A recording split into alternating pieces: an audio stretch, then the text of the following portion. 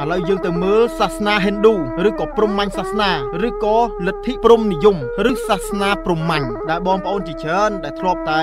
ឮថាសាសនាព្រហ្មញ្ញព្រហ្មញ្ញតែឈ្មោះជាអន្តរជាតិគឺសាសនាហិណ្ឌូដែលនៅប្រទេសខ្មែរយើងច្រើនតែច្រើនតែហៅសាសនាព្រហ្មញ្ញអញ្ចឹងសូមជ្រាបកន្លែងនេះឲ្យច្បាស់សាសនាហិណ្ឌូឬសាសនាព្រហ្មញ្ញនេះបានចាប់កំណើតឡើងនៅប្រទេសឥណ្ឌាភាគខាងត្បូងក្នុងរវាង2000ឬក៏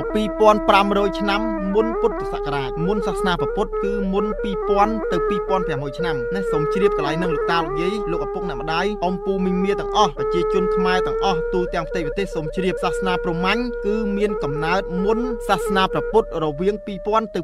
2500ឆ្នាំមុនពុទ្ធសករាជមុនពុទ្ធសាសនាសូមជ្រាបហើយក៏ជាសាសនាដែលមានអាយុកាលយូរអង្វែងជាងគេនៅលើពិភពលោកខ្ញុំធ្លាប់បានលើកឡើងជារឿយៗហើយថាសាសនាព្រហ្មញ្ញសាសនាឬសាសនាហិណ្ឌូនេះគឺមានអាយុកាលចាស់ជាងគេនៅលើពិភពលោកហើយមុនសាសនាព្រះពុទ្ធ2000ទៅ2500ឆ្នាំសាសនាហិណ្ឌូឬសាសនាព្រហ្មញ្ញសាសនានេះជាសាសនាពហុទេវនិយមមានន័យថាសាសនាដែលមានព្រះឬក៏អាទិទេពច្រើនអង្គព្រះឬអាទិទេពដែលធំជាងគេនៅក្នុងសាសនាហិណ្ឌូឬក៏ព្រហ្មញ្ញសាសនាគឺមាន3អង្គគឺទី1ព្រះព្រហ្មដែលហៅថាមហាព្រហ្មទី2ព្រះសិវៈឬព្រះឥសូរទី3ព្រះវិស្ណុឬព្រះនរាយណ៍អញ្ចឹងសម្រាប់បងប្អូនដែលកាន់ដែលគាត់គោរពទាំងសាសនាព្រហ្មញ្ញក្តីទាំងសាសនាព្រះពុទ្ធក្តីសម្រាប់សាសនាព្រហ្មញ្ញសូមជ្រាបឲ្យច្បាស់ថាព្រះអាទិទេពគឺពហុទេវនិយមមានន័យថាមិនឯកទេវនិយមទេគឺពហុណាខុសពីសាសនាគ្រិស្តនិងសាសនាអ៊ីស្លាមសាសនា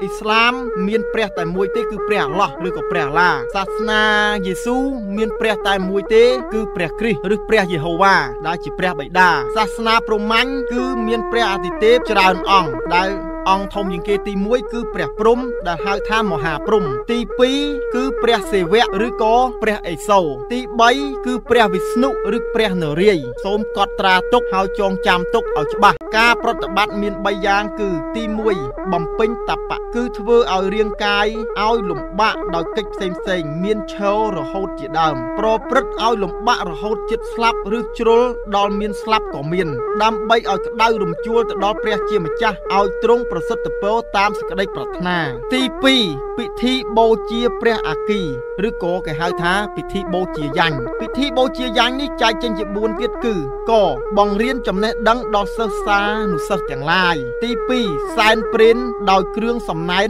មាននំជាដើម ទី3 ដុតវត្ថុឬក៏មនុស្សសត្វអ្វីផ្សេងផ្សេងនៅក្នុងភ្នក់ភ្លើង ដើម្បីថ្វាយទេវតា ទី4ឲ្យអាហារជាទាន ចំណុចធំគោលទី3ពិធី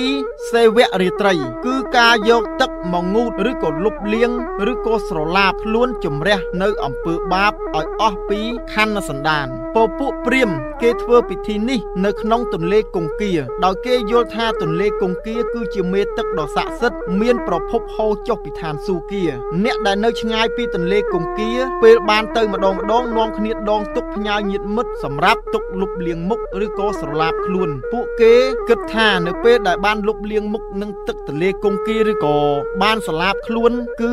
រួចចាកផុតពីអំពើទោសបាបទាំងឡាយដែលគេបានប្រព្រឹត្តតាំងពី3ជាតិកន្លងរួចមកហើយមកដល់ពេលបច្ចុប្បន្នជាតិនេះ